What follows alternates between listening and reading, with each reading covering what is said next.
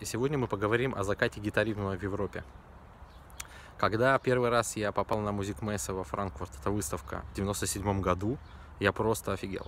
Честно, вот после Москвы, где только все начиналось, ты приходишь на эту выставку, павильон гитар занимал просто вот такой ангар, просто куда можно было закатить там Боинг какой-нибудь 747, просто немеренных размеров, и все было под завязку забито гитарами, усилителями и всем чем угодно. Там просто движ стоял нереальный. То есть у тебя один стенд Фендера занимал там, ну, просто как вот там спортивный зал. Потом там столько же занимал там Ибанес, Гибсон. И за один день, то есть там были просто топовые все гитаристы, они во Франкфурт приезжали. То есть, и ты за один день мог там в 11 утра посмотреть, как нам Стив Вайт презентует свою, тогда был 10 лет Ибан, этого джема, вот он там в 97-м, что ли, году презентовал. Вот 10 лет э, джема. Потом там в 12 часов там какой-нибудь концерт, э, этот не концерт, а воркшоп Джона Петручи. В час там какой-нибудь Фрэнк Гамбали. А там э, на закуску еще какого-нибудь там менее известного гитариста. О которых, кстати, вот всякий Винни Мур, там, там Дэйв Ульрих и вся вот эти вот, кого кто менее известных, их уже никто не считал. Они могли себе джемовать где-нибудь в углу, и на них просто даже внимания не обращали. Просто реально движ стоял, э, моделей гитарных было просто дофига. И все как бы просто этими гитарами кишило. В 98-м тоже было классно. Там приехал Лысый Сатриани, презентовал свою Crystal Planet, прозрачную гитару. Вот. Э, тогда, по-моему, еще Фрэнк Гамбали тоже приехал. Вот. Э, то, что там Петручи что-то презентовал. В один из вот этих годов, в конце 90-х, там был Джефф Бек, к нему там была немеренная просто очередь. То есть там просто вот народ такого вот уровня приезжал.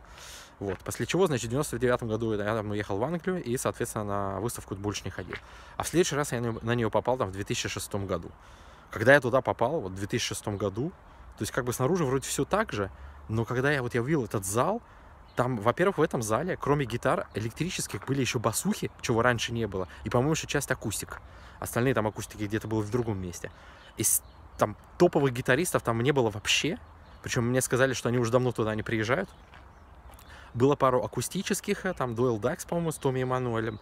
Э, было еще, значит, там парочку, но уже как бы все. Уже там стенд Фендера был там никакой.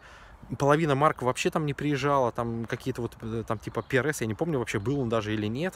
Да, то есть и движ уже такой был, как бы вот, уже как бы вроде никому это все и не надо. Вот. Топовых гитаристов не было никого вообще, было парочку вообще неизвестных, но я тогда поднялся на этаж наверх и посмотрел, что творится вот в зале, где диджеи. Там просто вот стоял движ времен 90-х годов гитарного стенда, вот. Там просто презентовались какие-то новые модели контроллеров, какие-то топовые диджеи выступали. В общем, там реально, там в 2009 что ли, году движ был просто конкретный. Вот. Но все прошло, и сейчас говорят, что и диджейство тоже, в общем, как-то достигло таких стабильных показателей, здесь тоже особо не это самое. А что касается гитаризма, я даже боюсь предположить. То есть все, наверное, сейчас умещается в каком-нибудь маленьком таком павильончике, где у тебя там в перемешку электрогитары, басы и акустика, и усилки там, и все вместе. Вот. Туда от силы заезжает какая-нибудь э, средняя европейская звезда какая-нибудь там раз там в три года. И просто сейчас, наверное, вообще там ничего нет. Поэтому уже можно сказать, что гитаризм, он, в общем, как явление, вот как вот он был такой, как в 90-х годах, он... Это что касается Европы. В Азии говорят вообще все по-другому. Там все классно, гитары продаются, Ямаха туда там катает всех европейских звезд, там, там все говорят, вот как у нас было раньше. А Европа, скорее всего, больше уже вряд ли восстанут. Стран, где остались еще более-менее гитар, гитаристы, и вот школа, все, и вот классно, интересно, все.